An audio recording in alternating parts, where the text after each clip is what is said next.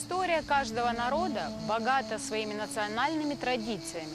И всегда, даже в самом маленьком селении, находится человек, для которого сохранение национальной культуры становится смыслом жизни. Айка Саганян. Имя этого художника известно, пожалуй, любому жителю Лазаревского района. О его многогранном творчестве и будет наш рассказ. Мне очень интересовала природа, сама природа. И в жанре портрета, и в жанре пейзажа, и в, любом жанре. Что бы ни было, все это сказывается на человека э, ну, благородно. И вот это первое, я что осознал, что необходимо запечатлеть матери. Он раньше умер, в 75 году. Вот этот портрет является его портрета, портретом.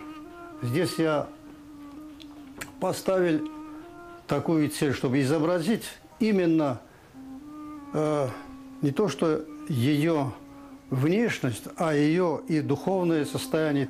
Отец был тоже очень благородным человеком. Он всю жизнь работал лесником.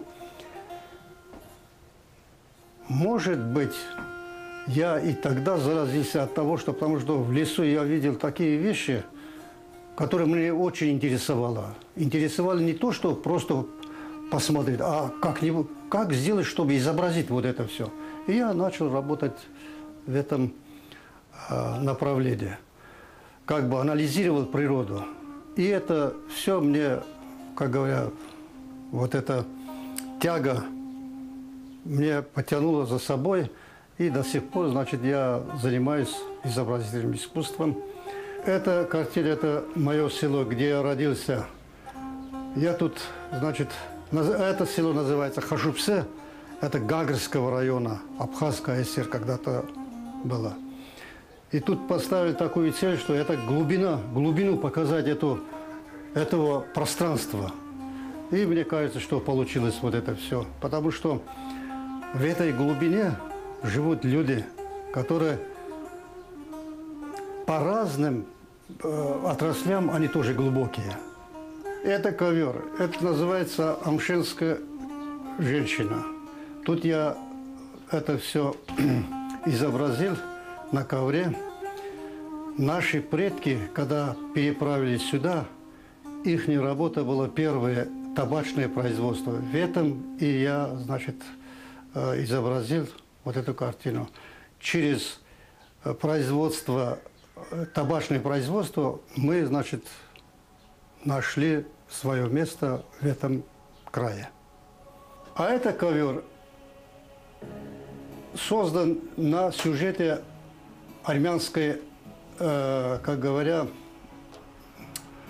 истории. Вот и силуэт древнего храма языческого времени. Вот, вот идет. На этом фоне, на этом фоне, на языческого храма – все элементы средневековья и нашего времени. А, вот хачкар, тут есть и хачкар, тут есть и э, птицы, вот эти птицы павлины, тут армянские тополя, вот эти все. То есть они, конечно, не настоящие, они стилизованные.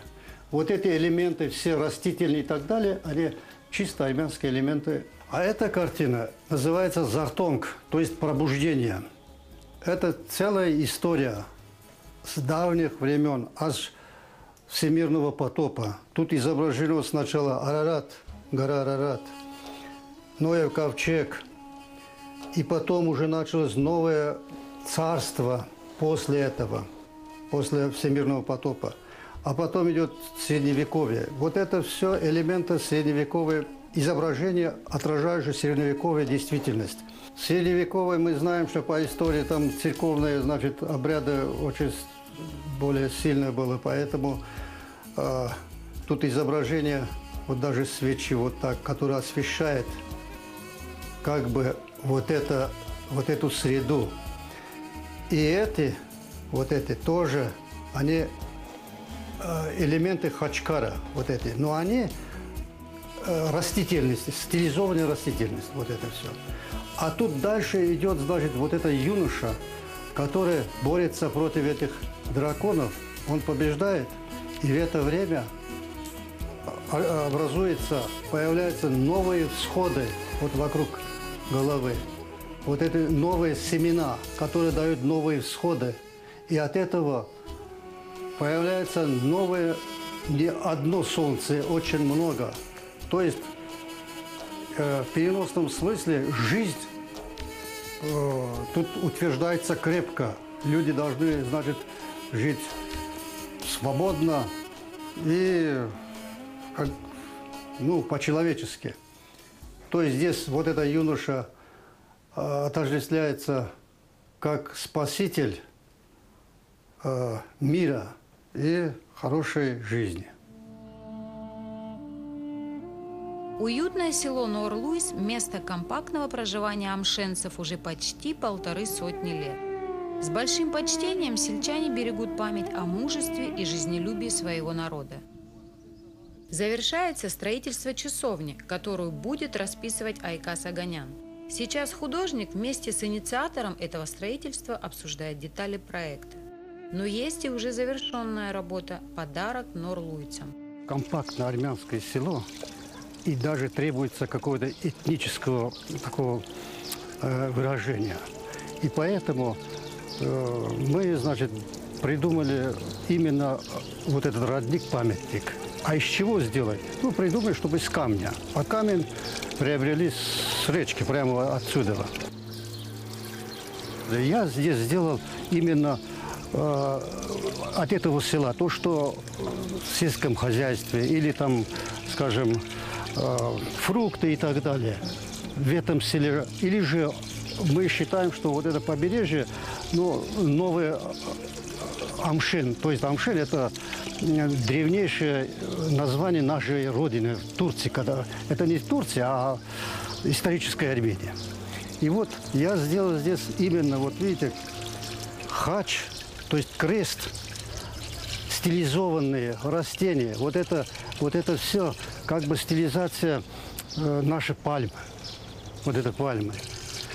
Наши винограды наши цветочки, видим, э, то есть только здесь бутоны не раскрывшие. А это, это знак вечности, что увековечивает эта жизнь. А в середине как раз и вода идет, это вечность.